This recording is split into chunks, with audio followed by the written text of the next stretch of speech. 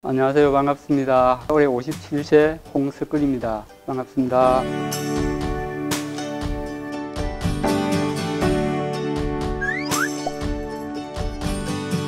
자개발이나 정년 후에 필요한 그 업종이 뭔지를 생각하다가 전기를 택하게 됐습니다.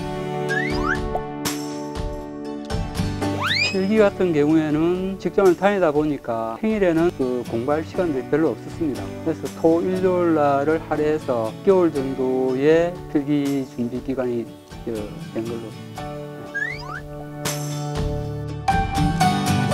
실질적으로 제가 처음에 이 전기 부분을 접한 그런 부분이 전혀 없던 과정이라 처음에는 상당히 어려웠습니다. 어, 박은희 원장님의 강의 방식은 필요한 부분들, 꼭 이론 시험에 필요한 부분들의 요점을 간략하게 어, 수험생들이 이해하기 빠르고 공부하기 편하게 그런 형식으로 강의를 하시는 것 같습니다. 혼자 공부하고 하는 과정에서도 거의 어림없이 어, 필기를 무난히 어, 통과할 수 있었습니다.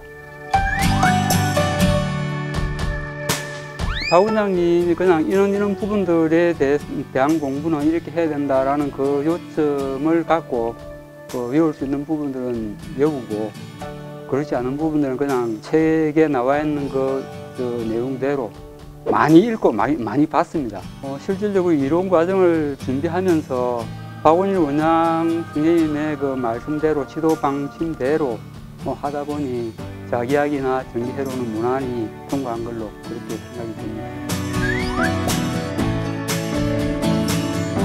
뭐 전기가 어렵다 어렵다라고 하, 하시는데 어렵다라기보다는 하지 않아서 어려운 겁니다. 어, 전기 분야에 도전을 하고 싶은 분들이 계시면 그 어려운 부분을 생각하시지 말고 직접 부딪혀 보시면은 어, 자기가 본인이 생각했던 부분보다 공부하는데 더 낫지 않을까라는 생각이 듭니다. 수험생들 여러분들은 박 원장님의 지침대로 공부하고 노력하시면은 무난히 통과될 것으로 판단됩니다. 화이팅!